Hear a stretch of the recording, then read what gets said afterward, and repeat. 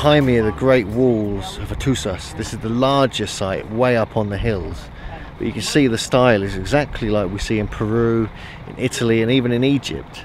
And so they have these lions protecting the site, the entrance.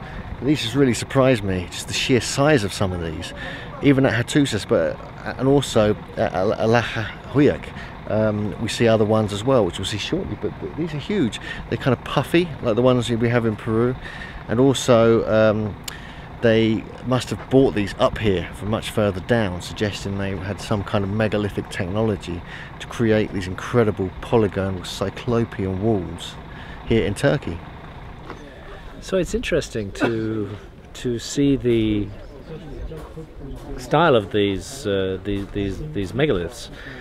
I mean, they are not on the on the scale of uh, Sacsayhuaman, but there are some similarities, uh, both in the polygonal style of the architecture and in the relatively close fitting and careful and careful cutting of the, the stone. You don't get quite get that feeling of stones melting together that you get at Sacsayhuaman, but uh, if I were to come across this uh, in some corner of Cusco, I wouldn't feel that it was completely out of place. I might think that it was perhaps an attempt by a later culture to copy the majestic work of uh. But the, the, similarities are uh, intriguing, particularly since we're completely on the other side of the world uh, and supposedly in a different, uh, different period of history uh, it's quite it's quite fascinating to find the same solutions being arrived at, and it's impossible not to speculate about the possibility of a remote common influence having some effect on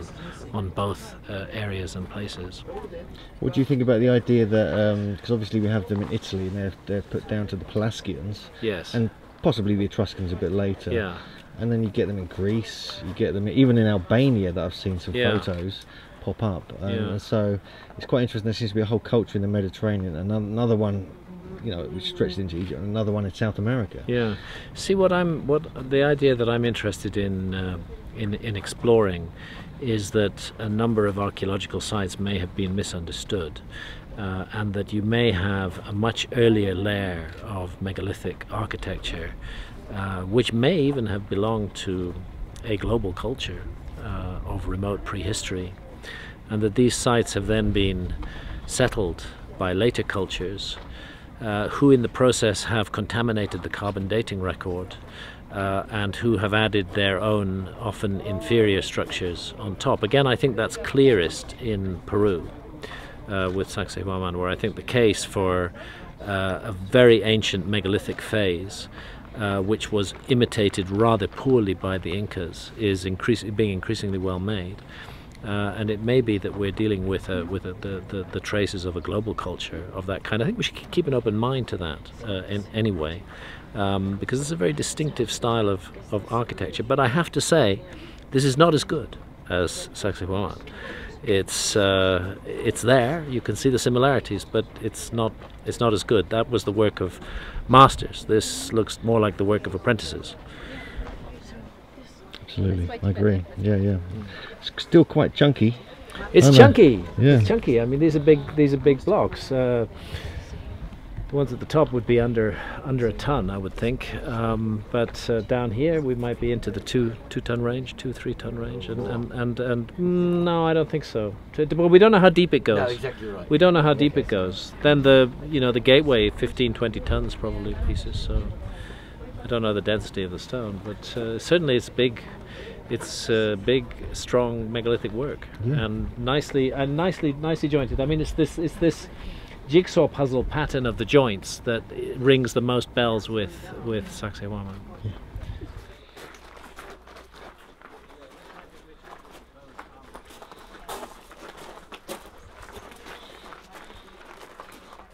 So we're just here at Hattusas at the main site. Behind me, I didn't realize this just now, but obviously this is like a, a, kind of pyramid. It's like being constructed.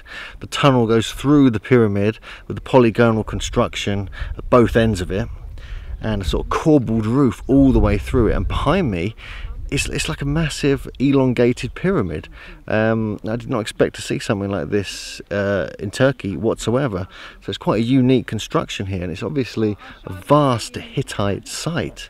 And this is just one small part of it, and it's simply amazing.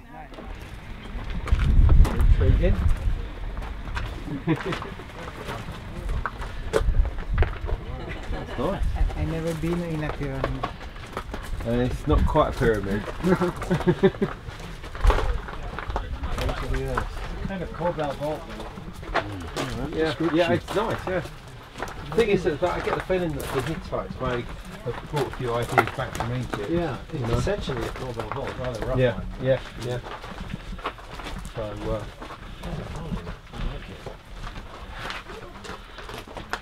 clearly, as I say, late on in the day, but you know, it's interesting to know where some of these influences and ideas come from. Absolutely. Talk about light at the end of the tunnel, eh? Perfect example. A lot of a lot of work went into making this. Absolutely. It's a serious piece of architecture.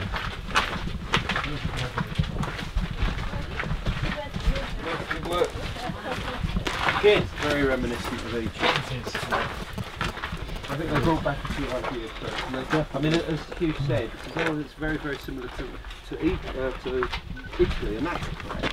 You know, there's- but a lot of the cultures in Egypt, you know, clearly do come from Turkey, from the Phrygians and things like Sure. that. So, I mean, the, the, these parts of the ancient world were in contact. But, we're sharing um, ideas. yeah, The, yeah. the Egyptians were the masters, and uh, Yeah, exactly. I mean, you know, you know, this were- this has got a certain, a definite feel of Egyptian uh, Yeah, yeah. architecture. Yeah, and also and also the, the sense of a a crude Corbel vault. I mean, it's in a way it's like a mini Grand Gallery, Absolutely. but Yeah. done Yeah. done pretty rough with none Yeah. of the finishing off. Absolutely. But essentially the same idea and and um, similar kind of length too, actually. Yeah, yeah, absolutely.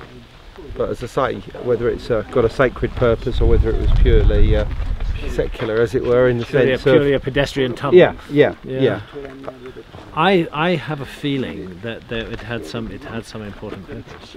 Otherwise, why go to that trouble? Just just have a cut in the, or you know, just. I mean, a- this is this apparently is an or- or- artificial mound. yeah.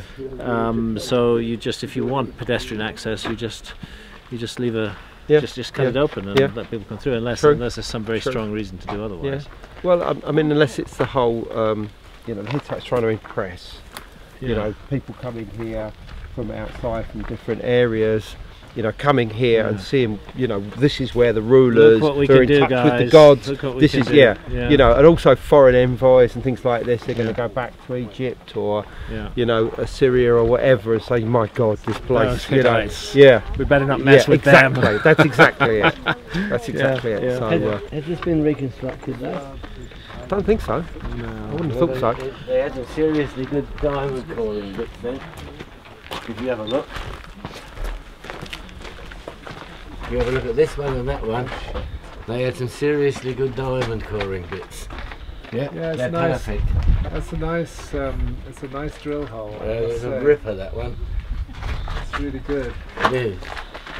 The depth is the same, it's broken out the It same. looks old too.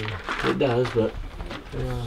Sort of got an old kingdom feel to it. Well, again, yeah, it's got an old kingdom feel. Yeah. The ancient Egyptians were drilling perfect, perfect holes Mm. deep into granite, yeah, and we find the drill cores. It's a mystery, actually. the How they did it, the yeah. speed the drills were turning. yeah, You know, you can you can estimate that from the grooves in the core. yeah. As I say, I think that uh, you can see a path right the way through the woods, right the way to the left of this huge rock cliff in front of me. And you could either have gone underneath and up the almost corbelled uh, tunnel, or seemingly you can come over the top and go through another gateway here. But why have two different types of gateway? You know, up and over and, and under. It just doesn't make sense. You know, as you say, unless there is one was for the plebs and one was for the, uh, you know, the royalty, um, or one had a, a functional, one had a symbolic purpose. But I do think that that entrance down there is something that foreign envoys and all the rest of it could enter through and just see how impressive this was as they were actually passing through it. You know how strong a fortress this actually was. There was something that they would then be able to take back, and they'd say, "Oh, how did you get in there through this tiny little tunnel?" You know.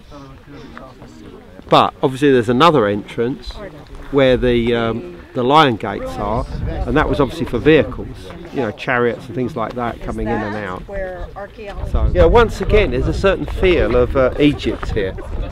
You know, I think there's a feel of Egypt that probably goes all the way back to Old Kingdom times. Now, whether they saw it over there and thought we'll have some of that, or what, I don't know. But also, there does seem to be a feel of, you know, sort of Italy, other countries as well. You know, probably Greece as well. Um, but there's definitely an Egyptian feel here, and I mean, obviously that's because the two cultures had this cross contact um, when they weren't warring each other. You know, there was quite a lot of trade relations, um, relations with dynasties and things like that. You know, daughters from one would be given to the other. See this? See this stuff? Right? So you look, look, this is the other entrance directly above the one below The one below, yeah. which almost seems absurd. And as the gentleman with the beard over there was saying, Yeah. you know, almost certainly there was a bronze gate Yeah. there, which which pushed in Yeah. this in this direction. right. Um, so obviously this was a through fair Yeah. coming in, going out, going out. Obviously this is what you would see going out, Yeah. and uh, there would be a huge gate there, which would be pushed in Yeah. as you were coming in. Yeah. But why why two? You know, why an up and over, and why Mm-hmm. another one underneath? To be impressive. Yeah. Yeah, These are restored sphinxes, right? This is they're, they're, they're assume that replaced. that it's not original because the original's in the museum. This is some kind of uh, Yeah. model. Yeah, Some kind of modern model. Yeah, yeah. Yeah, interesting yeah. variation. It's certainly been gra- idea. greatly restored. No, I think it's a, I think it's actually a, a substitute Okay. because apparently the originals are in the Yeah. National Museum. But once again, you've got the slight feel of Egyptian here. Sure. With the hair coming down like this, Hard to like get away Hathor. from yeah, hard to get away from Egypt when there's a Sphinx involved. Yeah. This is not a Leonine Sphinx. This is a I don't know. Well, is it Leonine? I don't. Well, it's sort of griffin-like, I suppose. Griffin-like Sphinx with wings. Yeah. Yeah. So, but yeah, ideas keep cycling around. Yeah. You know, Egypt does keep coming into my thoughts every yeah. time Egypt must have been a huge presence in their lives. Absolutely. They must all have Trading, been aware of it. You know, dynasty relationships. looking up to it, Yeah. learning from it. We'll have some of that. Yeah. if they've got it, we want it. sending their kids over for a bit of Egyptian education. Yeah, exactly. Yeah. yeah.